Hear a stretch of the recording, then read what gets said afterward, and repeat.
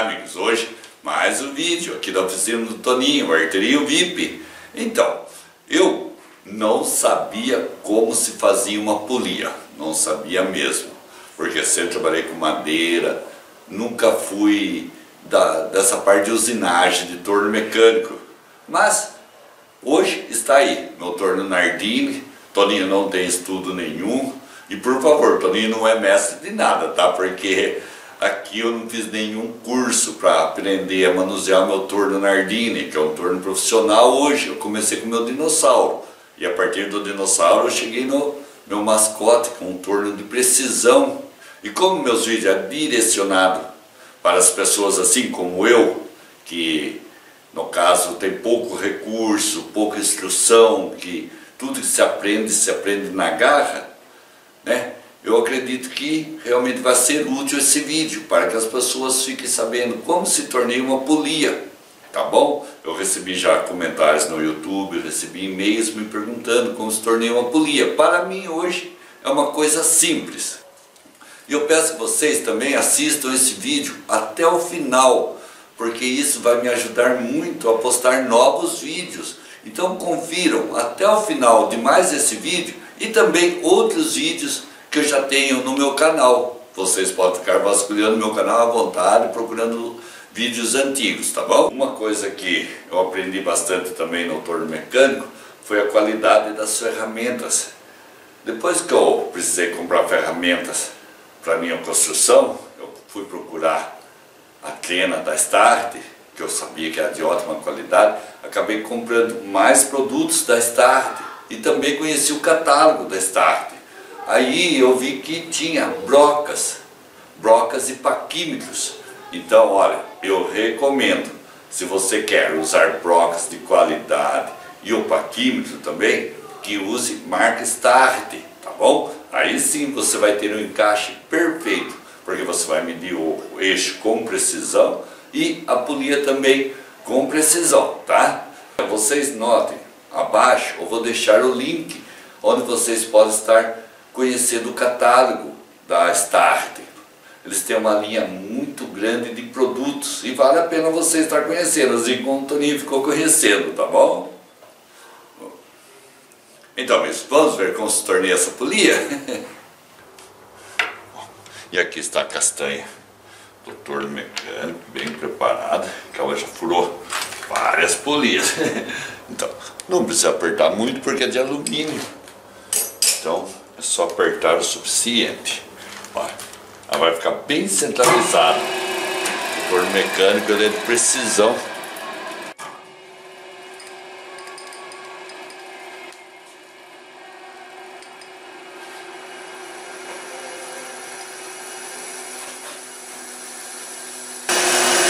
delícia!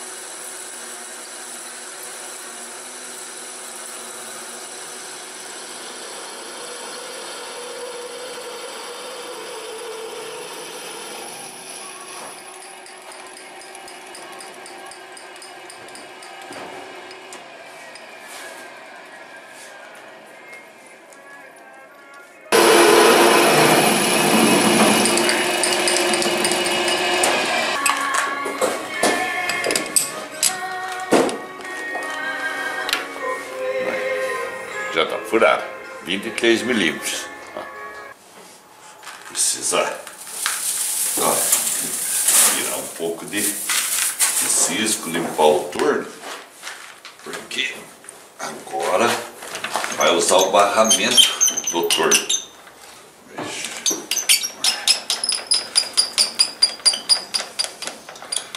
Ficar mais ou menos na posição. trabalhar, acertar a velocidade do torno, que para furar, porque para furar a polia eu uso 400 RPMs, 400 rotações por minuto. E para usar a ferramenta de corte, eu uso outra velocidade. Veja como esse torno é prático. Ó, você muda aqui, já mudou a velocidade do torno para 1200 RPM. Eu também já mudei o avanço. Com o avanço eu estava usando ele rápido. Agora vou usar ele bem lento, uma velocidade mais alta no torno e um avanço bem lento. Porque vai ficar bem liso o furo na, da polia, para que fique bem lisinho. Bom, vou acertar e mostro para vocês. Então, já foi preparado o turno, já foi também acionado o avanço e reduzido o avanço, aumentado a velocidade do turno, né? Então já está tudo certinho. Eu já fiz uma, porque é bastante difícil. Esse furo tem que ficar com 24 milímetros, ponto 8 décimo. Então, não é fácil de acertar. O Toninho vai acertando de, de décimo em décimo. e a primeira já deu super certo, tá? Eu já fiz o furo, vou mostrar para vocês depois. Bom, vamos ver o torno trabalhando. Vejam só a velocidade.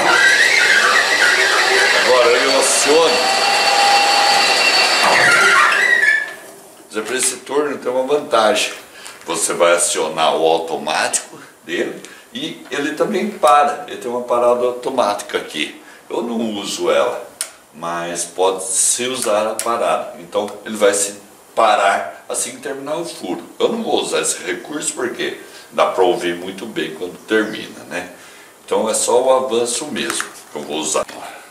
Basta acionar essa alavanca que está acionado para trabalhar. Liga primeiro, chega próximo e aciona.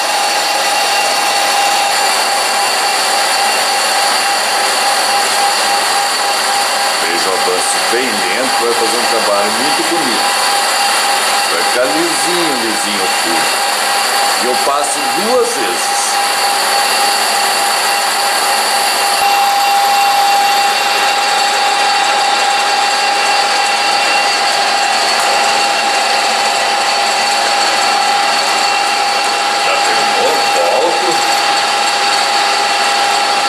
Posicionar novamente. Posicionar novamente para que realmente ela fique super limpa. Agora vai dar mais um passo.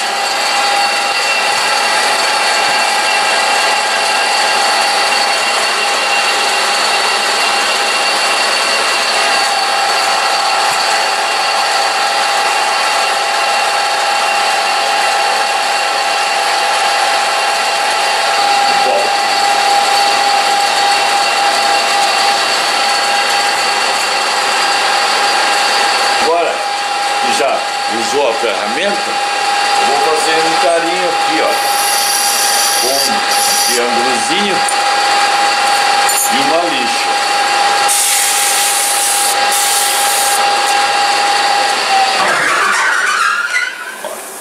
E aí está. Então o triângulozinho deu uma quebradinha no canto para que o eixo entre e não morda. Porque ó, o eixo vai entrar desse lado.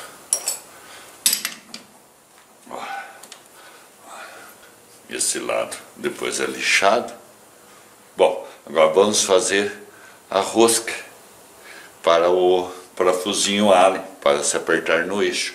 Então tem que se fazer um furo aqui, ah, tem que se fazer um furo e colocar parafusinho Allen.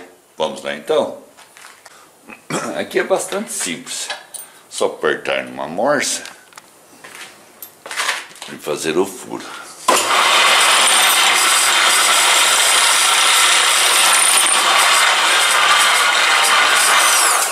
M8 eu uso a Block 6.5. Olha, já está feito o furo, agora vamos em outra morsa. já presa na morsa. Veja a chave do Toninho. Sempre quebrava a chave que eu comprava. Daí eu peguei um pedaço de ferro e moldei para se encaixar no macho que se faz a rosca. Olha. Esse daqui não vai quebrar nunca.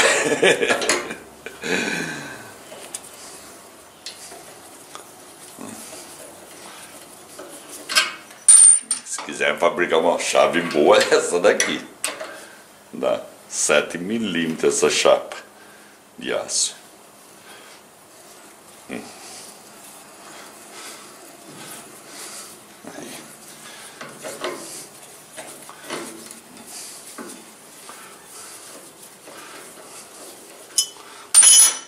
Aí. Já feito a rosca, já foi feito o furo, já foi feito tudo. Agora é só encaixar no eixo, olha. Esse aqui seria o eixo da minha trefiladeira, que é filadeira modelo arteirinho. Já coloquei o rolamento, agora é só lubrificar com óleo aqui dentro e é, o eixo também. E colocar na prensa hidráulica. Vamos lá então? Então, amigos, aí está. Olha, coloca essa polia, certa bem a prensa hidráulica, bem aprumada. E como o ajuste está certinho. O manômetro mostra a pressão que está tendo sobre a peça.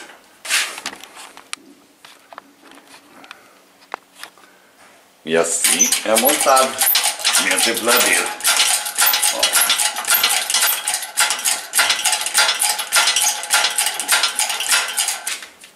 E aí está, ó.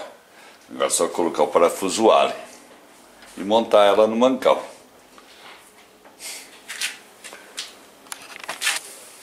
Então, amigos, e aí está, prontinho para ser enviado meus clientes, as minhas refiladeiras. Bom, espero que vocês tenham gostado mais desse vídeo. Peço que se inscreva nesse canal e adicione esse vídeo aos seus favoritos para que outras pessoas possam estar conhecendo a oficina do Toninho, o Arterio VIP. E se você gostou, Melhor ainda, clique no joinha logo abaixo. O Toninho agradece. Um abraço, amigo Toninho, Arterinho VIP.